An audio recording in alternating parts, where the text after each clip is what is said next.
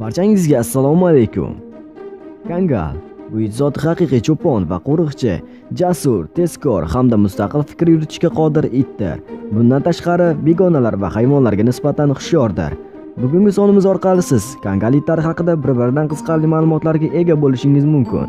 Videomizni boshlashdan oldin kanalga obuna bo'lib qo'ng'iroqcha tugmasini bosib qo'ying. Shunda keyingi chiqqan videolarimizni birinchilardan bo'lib ko'rishingiz mumkin bo'ladi.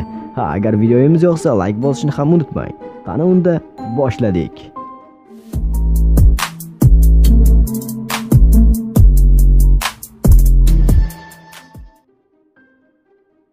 Ushbu itlar bir asrdan ko'proq vaqt davomida mavjud bo'lgan ammo zotning o'zi nisbatan yaqinda tan olingan. Kangal kishiga osiyoda bobil davridan beri mavjud bo'lgan eng qadimgi zotdir. Bir necha asrlar davomida seleksionerlar kangalning fazilatlarini turli xil katta itlar bilan chachishtirib takomillashtirmoqdalar. Qadimgi davrlarda sherlarni kangallar orqali ovlashgan ushbu itlar podalar bilan ishlashda ishlatilgan bo'lishiga qaramay ular chorva mollarini boqishmagan balki uni yirtqich hayvonlarning hujumidan himoya qilishgan. Bunday himoyachi kuchli qudratli ammo yengil va tezkor bo'rini osongina ushlashi mumkin edi. Zamonaviy kangallar bu turkiya milliy boyligi hisoblanib chet elga eksport qilish qonun bilan taqiqlangan. Bunday itlar baland bo'yli haybatli hayvon bo'lib uning bo'yi 70 dan 90 santimetrgacha vazni esa 50 dan 70 kilogrammgacha yetadi. Ularning kuchli panjalari kuchli bo'yinlari va yaxshi rivojlangan mushaklari bo'lgan kuchli tanaga ega. Kangal cho'pon itlari silliq va baquvvat harakat qiladi. Boshi katta to'rtburchak shaklda bo'lib biroz ko'ndalang peshonasi ozroq konveks shaklda.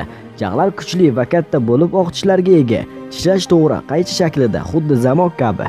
Ko'zlar o'rta yoki kichik bo'lib uchburchak yoki bodob shaklida bo'lishi mumkin. Tashqi ko'rinishi jiddiy va diqqatli. Buruni katta bo'lib ochiq oval teshiklarga ega. Uning rangi uyungining rangiga bog'liq. U qora yoki jigarrang bo'lishi mumkin. Ushbu zotli it yungi kalta uzunligi taxminan 2,5 sm yoki uzunroq 10-15 sm bo'lishi mumkin. Bunday po'stin qishda qattiq sovuqdan va yozda jazirama issiqdan himoya qiladi. Bundan tashqari jun tashqi qatlamga ega bo'lib u namlik va qorning teriga kirib ketmasligini ta'minlaydi. Ushbu po'stin tana haroratini mukammal tartibda bo'lishini ta'minlaydi va uning zichib joylashganligi itni yirtqichlarning tishlaridan himoya qiladi. Ko'pincha asl kangal itlarining tumshug'i va ikki qulog'i qora rangda bo'ladi. Bunday itlar juda mehnatkash bo'lib eng qiyin sharoitlarda ham alohida g'amxo'rlikka muhtoj bo'lmagan holda ishlashga qodir. Kangallar podadan ajralib qolgan qo'yni topib uni bir necha kun davomida ovqat va suvsiz qo'riqlashlari mumkinligi haqida ko'plab hikoyalar mavjud. Bundan tashqari bo'ri bilan kurashga kirgan kangal ko'pincha g'alaba qozongan. Ajablanarlisi shundaki kangal juda mustaqil it. Unga dadil irodali o'ziga ishonadigan ega kerak. Ta'lim jarayonida uy hayvonidan haddan tashqari g'azablanish taqiqlanadi agar mashg'ulotlar paytida siz qo'pol usullardan foydalansangiz unda it jilovsiz hayvonga aylanishi mumkin.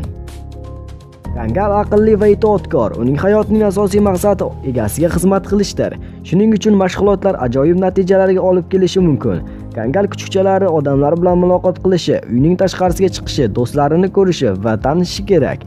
Ammo shafqatsizlik xo'rlik qo'pollik barcha olingan natijalarni bekor qilishi va itni xafa qilishi mumkin. Bundan tashqari agar bunday jiddiy it egasining tahdidini sezsa u o'zini himoya qilishga urinishi mumkin. Tabiiyki inson uchun bu achinarli bo'lib chiqishi mumkin. Yana ular kuchli jun to'kishga moyil. Bu davrlarda uy hayvonini tarash uning eski junidan tezda xalos bo'lishiga yordam berish maqsadga muvofiqdir. Boshqa davrlarda buni bir yarim haftada bir marta bajarish kifoya qiladi. It dam olish joyi bilan jihozlangan bo'lishi kerak. Kamida ikkita idish bo'lishi kerak. Ovqat va suv uchun. Uni kuchukcha bolaligidanoq uni xo'jayini divanida emas balki o'z joyida uxlay olishga odatlantirish juda muhimdir. Aks holda keyinchalik katta itni sevimli mebelingizdan haydash deyarli mumkin emas. Ushbu zot vakillari juda yaxshi sog'liqqa ega. Ular maxsus o'ziga xos kasalliklarga ega emaslar.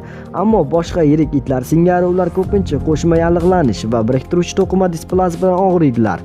Bunday patologiyalarning rivojlanishiga tana og'irligi ortiqcha yuk va ortiqcha jismoniy faollik ta'sir qiladi. Bundan tashqari displazm meros qilib olinishi ham mumkin. Oziqlantirishga kelsak agar egasi uy hayvonini tabiiy oziq ovqat mahsulotlari bilan boqishga qaror qilsa unda menyu go'sht va hayvon ichki a'zolari hamda baliqqa asoslangan bo'lishi kerak. Ulardan hayvon oqsillari va it uchun zarur bo'lgan foydali komponentlar mavjud. Menyu sabzavot o'tlar yormalar bilan to'ldirilishi kerak. Ko'pgina egalari o'zlarining itlarini ortiqcha ovqatlantirishda xato qilishadi. Darhaqiqat, kangallar o'z tanasiga nisbatan kam ovqatlanishga muhtoj. To'g'ri ovqatlantirishga kuchukchalik davridan boshlab alohida e'tibor berish kerak. Faqatgina kerakli narsalarni olish bilan it kuchli va sog'lom hayvon bo'lib o'sadi. Shuningdek, suyaklar va bo'g'im muammolarisiz.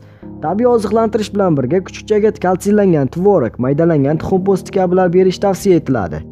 Voyaga yetgan it kuniga 2 marta ovqatlantiriladi. Rejimga rioya qilish tavsiya etiladi. Kangallar juda ko'p suv ichishadi. Shuning uchun siz katta, chuqur idish bilan ta'minlab, unda doimo toza suv borligiga ishonch hosil qilishingiz kerak.